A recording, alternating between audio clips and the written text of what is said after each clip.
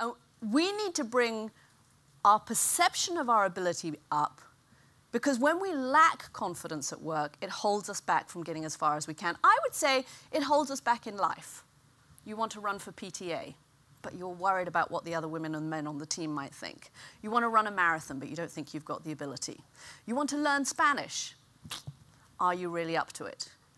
You want to go across the room to meet that interesting looking stranger at the party, but you're worried about getting rebuffed.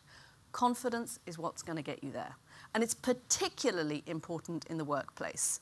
There was a great study done by a guy called Cameron Anderson out in Berkeley in California. And Cameron Anderson studies the relative importance of, of competence and confidence when it comes to success. He gives his students a quiz, a historical quiz, and they just have to tick the things that they recognize. And in that quiz, he puts in what he calls a few fakes. There's a Queen Shaboom makes an appearance, and there's a Murphy's Last Ride. So he gets the students to tick all these things. And the students who tick the most amount of fakes, he deems to be the most overconfident. They think they know more than they actually do. They're probably also a little bit less competent than the others.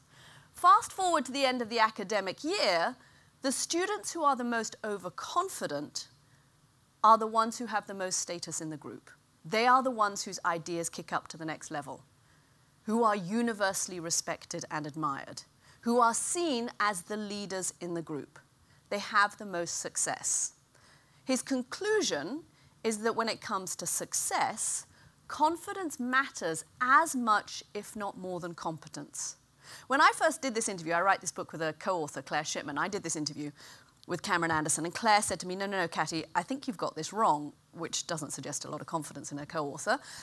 and it can't possibly be true. I mean, it's just, it's, it's an absurd idea that competence could not be as valuable as confidence. So we back, went back to Cameron Anderson, and sure enough, this is his conclusion, that confidence matters more than competence when it comes to success. And then we thought this was so depressing, we almost didn't put it in the book. Because for women, it's anathema. We are all about competence. We think that if we put our heads down and we work hard and we play by the rules and we colour in the lines, somebody will come along and tap us on the shoulder and tell us our natural talents have been rewarded.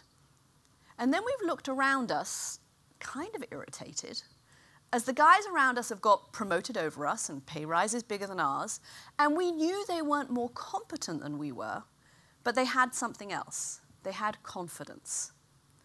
And we decided we needed to put this in the book because it is time for women to redefine what talent really means. A part of talent is having confidence. It is that ability to speak up in a meeting, to come up with new ideas, to tell your boss when you've had a success, to go for that promotion, uh, to be in the forefront of the team and show leadership capacities. That is confidence, and it matters when it comes to success. And I think it's time that women rather than kind of shying away from this idea, embrace it because it's something that we can all learn.